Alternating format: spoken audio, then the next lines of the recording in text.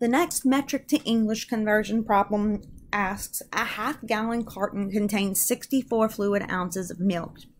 How many milliliters of milk are in a carton? And when it says a carton, I'm assuming that it means a full carton. So a half a gallon carton contains 64 fluid ounces and they want a full carton. So we need to get to a whole carton from a half a carton. So we're going to multiply 64 times 2 in our calculators.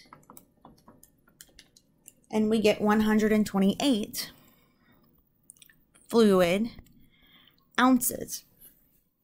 Now we're going to go ahead and write down what the problem tells us, which is 128 fluid ounces. We write down what we are being asked to convert to, and that is milliliters. We then draw our multiplication symbol, draw our division line, and bring fluid ounces to the bottom.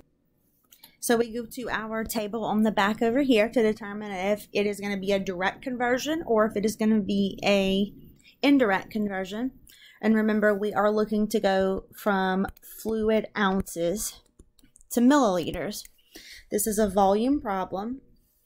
Going over to the metric and English relationship column over here, we can see that we do have a direct conversion. 29.6 milliliters equals one fluid ounce.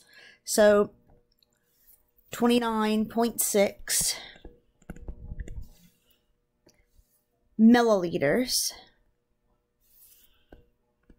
equals one fluid ounce. So we can convert directly to milliliters here. So in one fluid ounce, there is 29.6 milliliters. Fluid ounces cancels and we're left in milliliters. So in our calculator, we multiply 128 times 29.6 and that gives us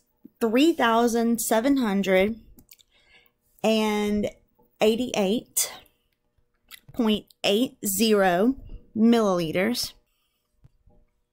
That's it, and let me know if you have any questions about this problem.